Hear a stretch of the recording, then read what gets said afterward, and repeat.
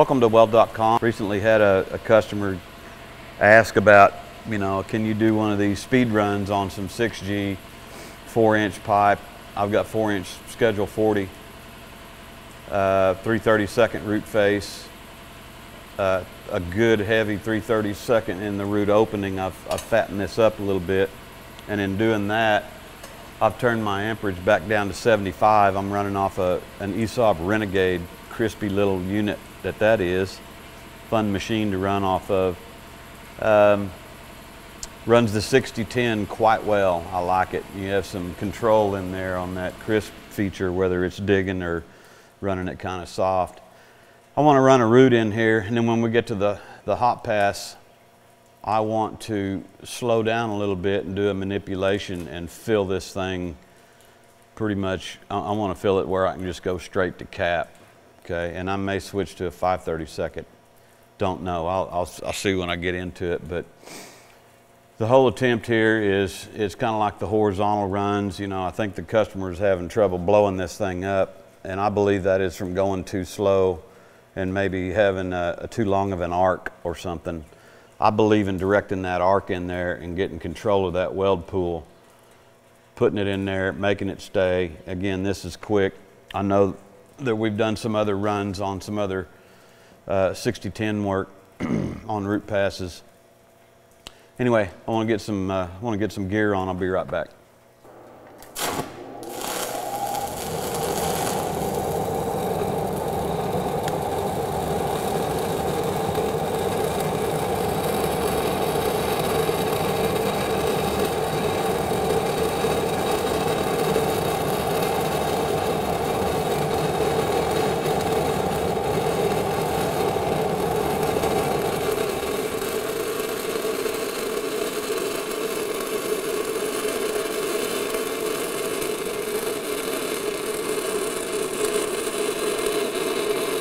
Trying to keep my rod pointed at the center of the pipe at all times. Thereabouts.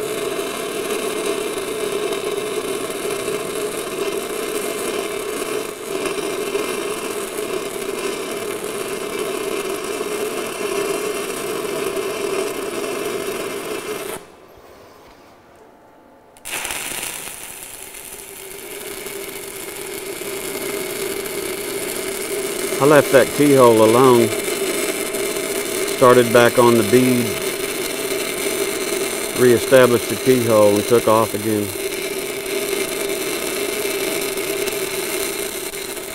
Coming up on a tack that I have feathered.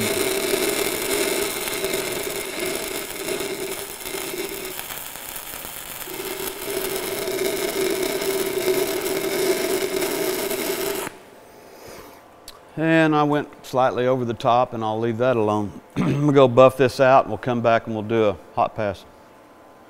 Welcome back. I went off camera and uh, did my normal cleaning stuff. I didn't get nuts with the grinder because again, I said I was gonna carry a fair amount of metal and fill this up a little bit. So I reground where my start and stop was coming off that keyhole and I buffed it. I have light slag showing. It's okay. I'm gonna get it with the arc. So the intent here on this next pass is to stitch and come back and pause, stitch and pause in the attempt to get this filled up enough so we can just go straight to cap. Now, could I, could I go straight to a low hydrogen electrode and do the same thing? Yeah, I could. And then, uh, you know, maybe we'll do it half and half. Maybe we'll, I'll come 60-10 over here and do 7018. It's gonna, it's anything to get this pass up to go straight to cap. That's the whole point, okay? So we ran a root, you know, if we were running a hot pass and we held it, uh, boom. I mean, this is just kind of a speed run. We don't need to spend a whole lot of time making this weld. So let me get my hood on. We'll do a, by looking at this, I think I am gonna stay with the eighth inch and I've turned my amperage up to 85. Okay, normally I'd go a little higher than that. Again, the last thing I want to do is blow this out, blow my root up and go through. But since I'm going to be carrying a lot of metal, then I don't want to go very high. If I was going to run hot and fast, then I'd be up at 95 and 100. to do my hot pass and, and really fly and stitch it in there. But again, that would just be a quick hot pass. This one's going to be kind of a hot and fill combination, so to speak. Okay, makes sense? Some of you have asked me this before in private messages, all kinds of ways to put the electrode in there. But you'll see me do this, and you, you've been asking why go all kinds of different angles. Again, I like to point this rod into the center of the pipe. Little uphill procedure here.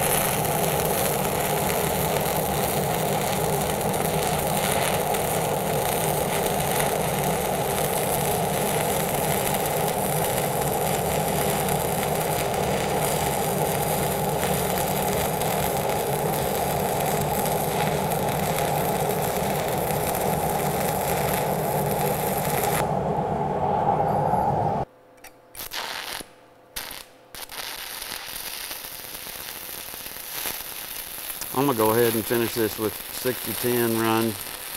Camera guy said he wanted to get this whipping pause, whipping nay nay.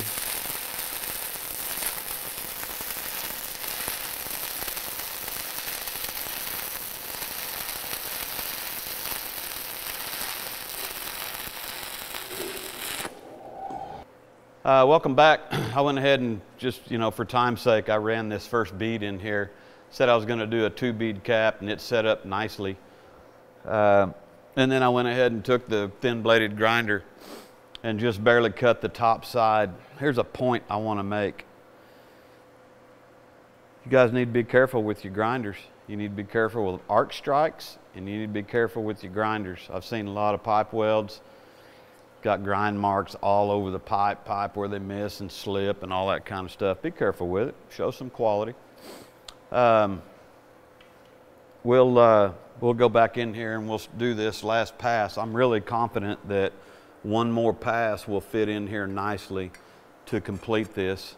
I believe I have a restart like right in here somewhere. That's with a variation of the width of that. So. Uh, we're doing okay so far. Profile wise, we're up above the plate like we're up above the pipe and the profile like we're supposed to. Don't have any undercut. Last thing I want to do is is leave undercut on the top side of this second pass. We're generously warm. I'm at 78 amps. I'm going to leave it. One thing I do want to note when I change this over, I changed the machine over since it runs 60 10, 70 18 and has settings for both I came off of 60-10 and 50% or 50 on the crisp side of it, crisp and soft. I changed it to 70-18, 78 amps, and I put it down on like 30 for the crisp and soft. And I had called an engineer when we first got this machine. I called an engineer with ESAB and we were talking and he goes, something about the arc features. And I was joking with him and I'm I probably could do this. I think I could weld 7018 in a dress shirt and tie and not get burned up. This thing is pretty smooth. I don't notice a lot of heavy pop.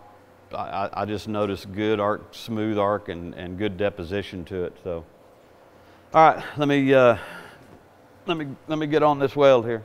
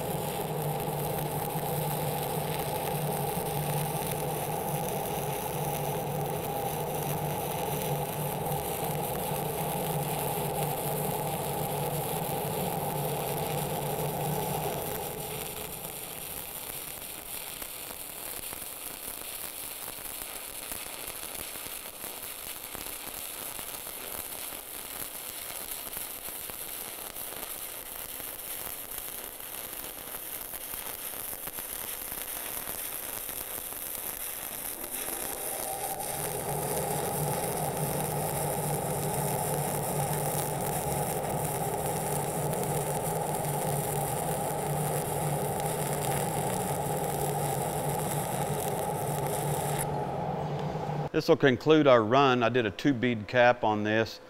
Kind of missed over here. When I terminated this over here, I must have, I don't know if I flinched a little bit, but it was like it was dug out a little bit on the top side. So when I restarted, I moved over and filled it. And you can notice it, but again, uh, everything is above the pipe. It's blended in fairly nice. I, want, I do want to go over here and cut this. I'll saw cut it so we can look at the root.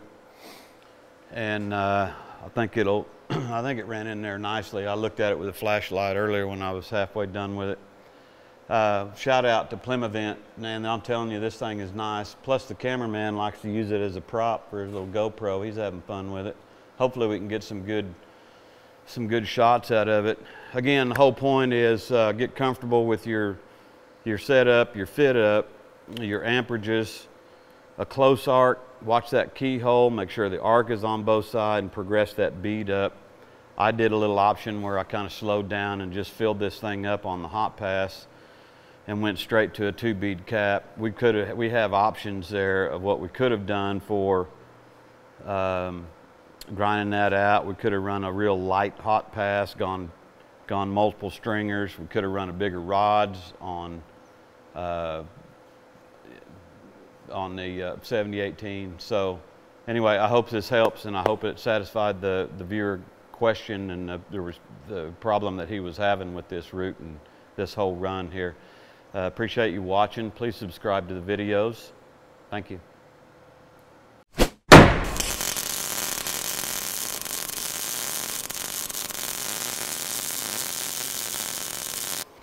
No, I gotta get up off the flow. Oh, gonna make me get down on one knee again. Yeah, yeah, yeah. I'm getting too old for this.